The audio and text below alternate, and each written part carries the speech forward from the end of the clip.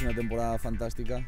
para, para, el equipo, donde hemos visto la evolución que han tenido, el crecimiento que han tenido y, bueno, fruto de,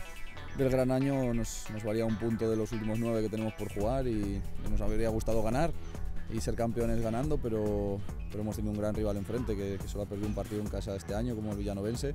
Y bueno, no ha podido ser, pero muy felices, felices porque vemos que al final el trabajo paga y el trabajo es lo que nos, lo que nos lleva a competir y a poder hacer al Atleti campeón. Fruto del trabajo que se viene haciendo en la academia eh, durante muchos años, el, trabajo de muchísimas personas que, no se ven y que cada vez eh, tiene mejores resultados, no solo en cuanto a campeonatos, sino en cuanto a, a, formación de futbolistas.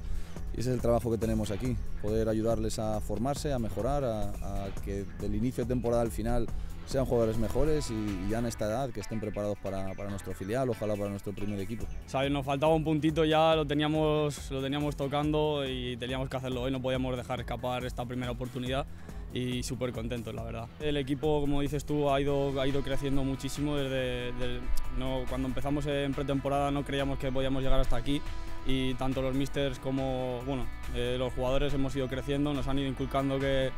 que podíamos, que, que, que, creyésemos en nosotros y, y hasta aquí ha llegado.